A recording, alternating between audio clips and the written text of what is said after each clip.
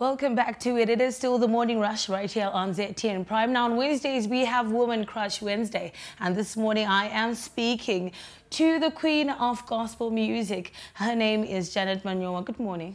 Good morning, Erica. Uh, thank you so much for joining us this morning. Thank you. It's such a pleasure. Looking so beautiful. You Thank think you. at 7.30 you're still getting your life together and everything. Well, basa mangwanan. Now, you will also forgive me. She is an all-time accolade taker. Now, the recent one is her landing on the Star FM Gospel Greats Top 50 as number one with Vaudze. Gotta say congratulations for that one. Thank you so much. Thank you. Now, taking up accolades, uh, you've been doing this uh, for a whole while, uh, giving us, you know, hit after hit. And I was mentioning earlier that if there's something I love about your art entirely, it is the visuals. You do them with power excellence. Thank you. Now, talk to us about the feeling of landing yourself in a brand new year. With a- taker as number one on the Gospel Greats Top 15, I'll say it for myself, it is the biggest chart in the country. Yeah, yeah. And then also with Anot also just setting you off chart. How, how are you feeling right now? Definitely overwhelmed. Um, I'm still to get into 2023 properly.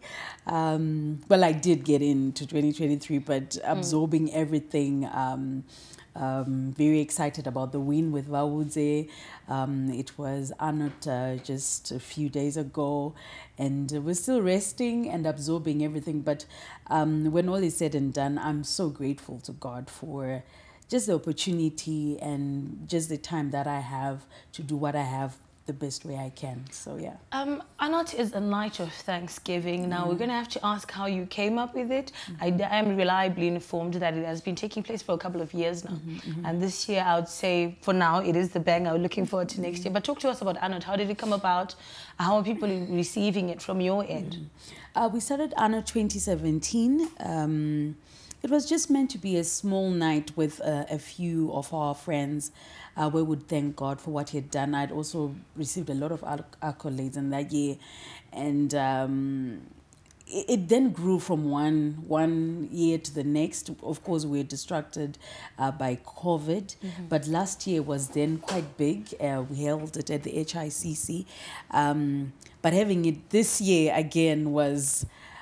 It- It's all about gratitude. It's all mm. about ending the year, which was 2022 in this case, with um, with gratitude and starting the year right in praise and worship and just giving thanks to God that we have another year to make things right. I'll say Yeah. this from a viewer's a perspective, from a viewer's point. Mm. Watching Anot, especially when the clips came through on social media, I must mm. just say it was electricity. Now, I, I love this question, especially when I talk to people in your art. Mm-hmm.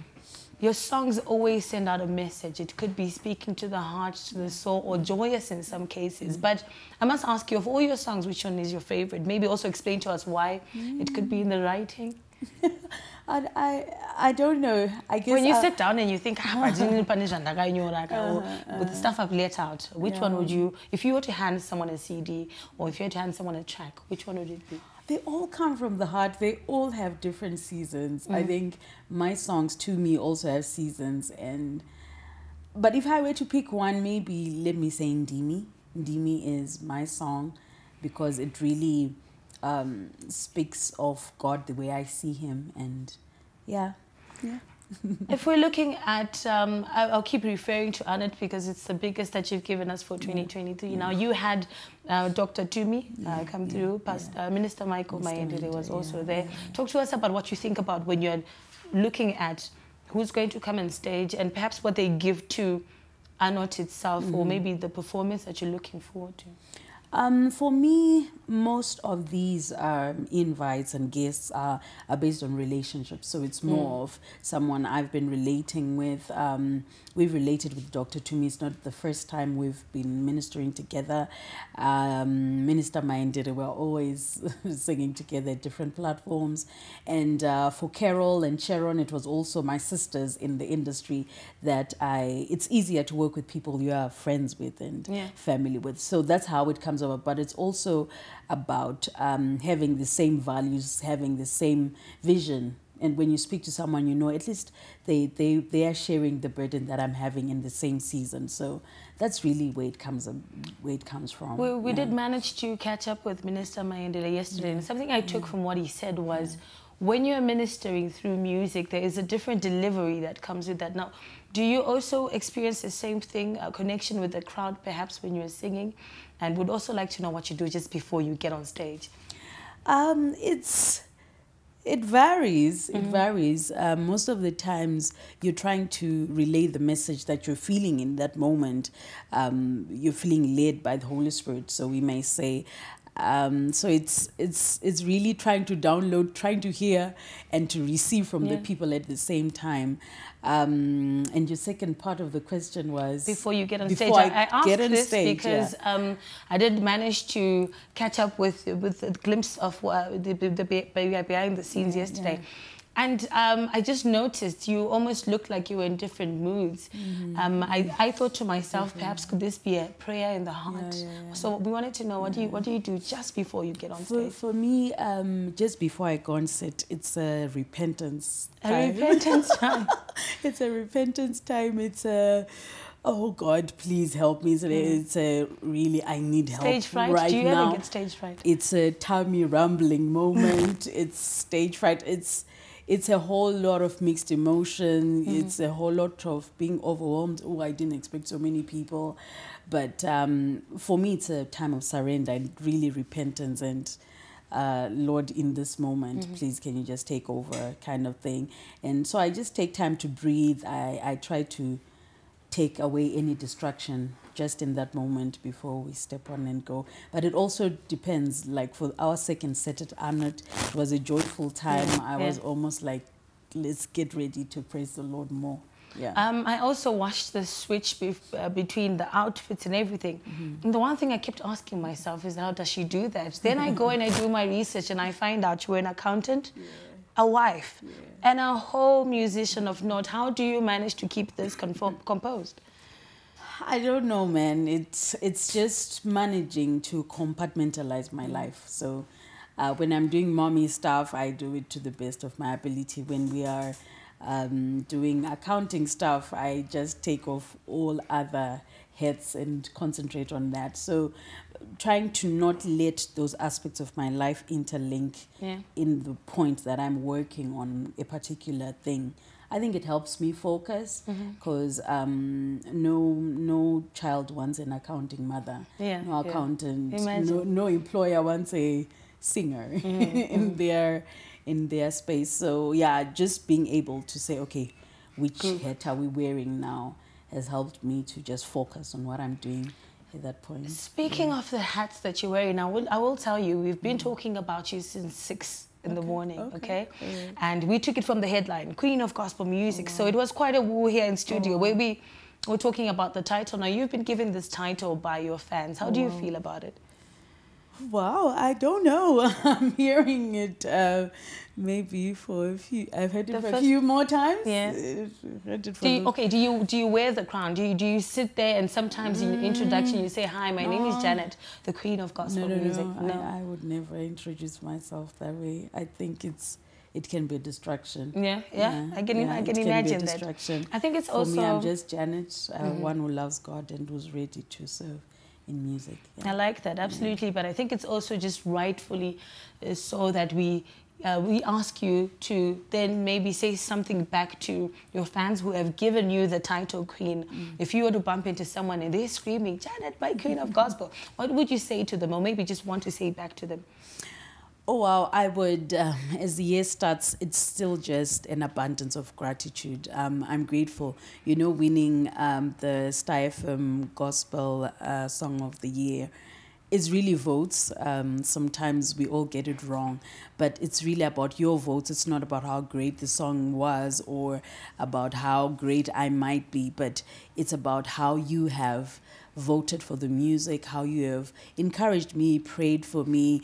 Uh, you know, I get a lot of DMs, Erica, of people who are just saying, Janet, you really helped me in one to three ways. And when all is said and done, and I hear such encouraging words, it really helps me go on. It really encourages me to seek the Lord more, to get more music, to download more music from the Lord. So thank you so much. My words would be thank you, thank you, thank you. I can never say it enough. And may the Lord um, deal with you kindly as you have dealt with me.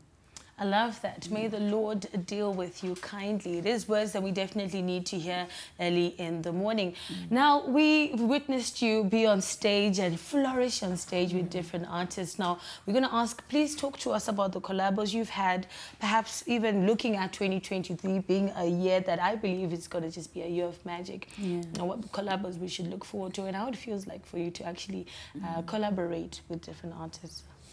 It's always an honor. Um, the Bible says two are better than one. Mm-hmm. So I, I don't take it lightly. I don't take collaborations lightly at all because for me it is um, uniting with someone and feeding off and them feeding off. Um, so I don't take collaborations lightly. That's why I don't have many of them. Mm. But I have uh, had the privilege of collaborating with um, Minister Michael uh, Takesure um, Maisuluma, Ngobe Kombata, ah, yeah, Comfort Manyami. It's, it's been a great journey. But uh, I'm looking forward to more collaborations in, mm. in this coming year, um, especially with Unheard Voices, mm. so that I can also rub off from them and they rub off from me. And um, I don't want to empty out too much, but I'm sure they're going to be great and many collaborations coming in the coming two years. You mentioned that you don't take it lightly when mm. you are choosing people to collaborate with. Now, mm. um, I'm no musician myself, but mm. I'm quite acquired with what happens in the industry. Mm. And it's almost like a relationship. You choose who to yeah. get into a relationship yeah, yeah, with. Now, I must ask, how do you choose who to collaborate with? For me, the song takes precedence. Mm-hmm. So it's not about names, it's about the the song taking center stage. So um, for example, Muchene, for me, I could just hear Sure's cry. Yes, yes, yes. And bringing the flavor, yeah. Bringing the flavor that the song needed. So sometimes it's, um, I believe that songs are greater than the people that sing yeah. them. So we, we shouldn't then be slave to names, but we should be slave to the song and go where the song needs us to go. So that is what informs really my, my collaborations and um, just being able to sing with someone I relate with. It's yeah. very important to know their heart. You know, I, I believe when I sing with you and then tomorrow you are you have a certain agenda you're promoting, yeah, I then yeah. look like I, I it am also. You. I can imagine. I can imagine. So that is very difficult, and you know you can't tell what uh, Erica is going to be advocating for tomorrow. You know, so I, I like that you've touched on that. I must ask apart from the collabos, the music, do you also carefully pick who you associate yourself with? Because you can be sitting with Erica today and then yeah. Mangwana, yeah. Jamba, my speaker somewhere. It's, yeah. it's so opposite your brand and yeah. what you're trying to push yeah. against the narrative. Mm. So do you find it difficult sometimes, even away from music, what I can't go to these places because can mix yes, catch? Yes, it's, it's more about who I represent and how I want to represent who I represent. So um, I, I believe in being with everybody talking to everybody. Jesus spoke to everybody. Yes, he, yeah. he didn't. He was not selective, mm-hmm. but uh, I can choose who I then let influence my space. That's so I, I, I do associate with everyone. I don't have anyone I can say I can't have a conversation with. Nobody. But I am very particular about who I let influence my space. Now, as a quick one, I'm going to ask you to give us 2023 in, I don't know, words or sentence so that when we remember you for 2023, mm -hmm. we're like, yeah, but she did say this. How, how, do you want us to move with you in 2023? Oh, I'm, like I said, I'm, I'm absorbing everything to now get into my resolution time mm -hmm. for 2023. But um, I, I, I can tell you 2023 for me is a year of clarity and rest. So we move with clarity I'm, and rest. I'm looking for clarity and rest in 2023. Absolutely lovely. Yeah. We're going to take it that one that way. Clarity and rest was talking here to uh, Janet Manyowa. She is the gospel queen, dubbed by her fans that way. Uh, talking to us right here on the Morning Rush.